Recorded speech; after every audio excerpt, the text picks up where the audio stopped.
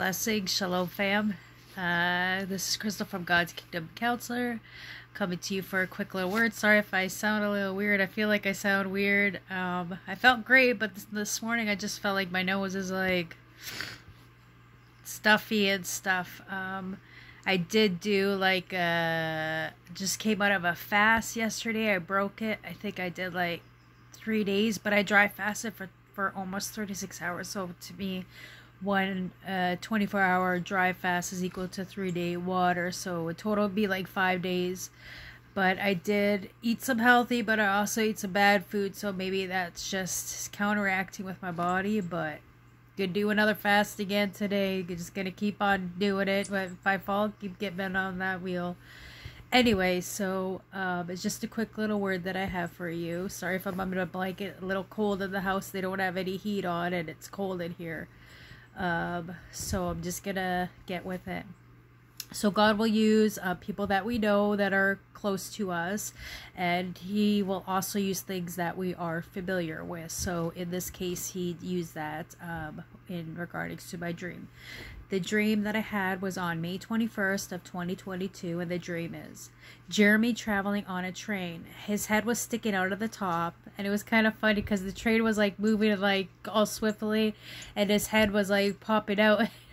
you know, you kind of look like a cartoon character. You're just smiling but his head was outside the out of the top of the train while the train was moving and he he was traveling saying that he was going to canada. Now i'm canadian so god used that as a familiar place for me because so i would know the destination.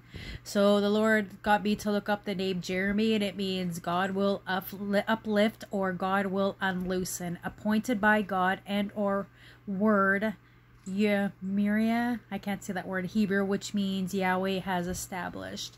So the train um, represents um, things are new, rapid speed, new opportunities, new goals in your life. Could be your ministry, uh, things that God has for you.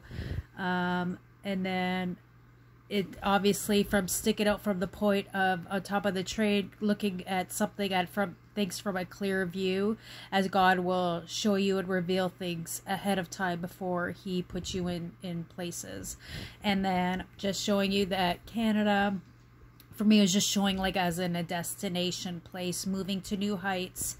Um, so God will up, uplift you and establish you all that the plans that he has for you. That train was moving quickly and swiftly like things are just going to happen so fast that you won't even know what's going to happen.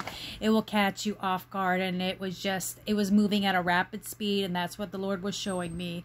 Um so we are to stay on our track of your destiny and everything that he has called you to do.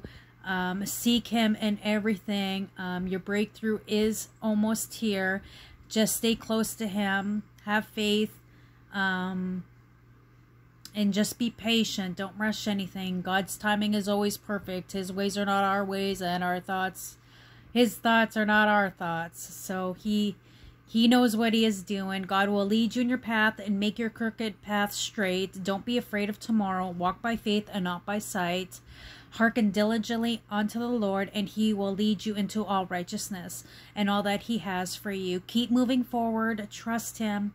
And again, test the spirit in everything that you do.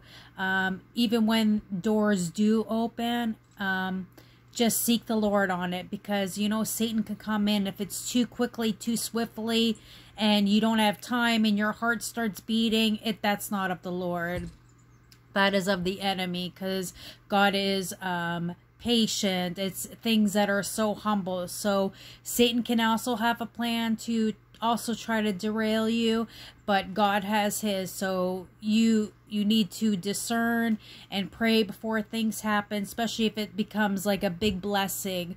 And that's what i've learned also. Just stay still. Remember what god says. If you need to fast if you're not hearing from him fast for a bit until you accept that. If it like if if it's like a job offer or big finances or whatever that comes your way just uh seek him. That wasn't in my notes so i know that was the holy spirit leading me to say that.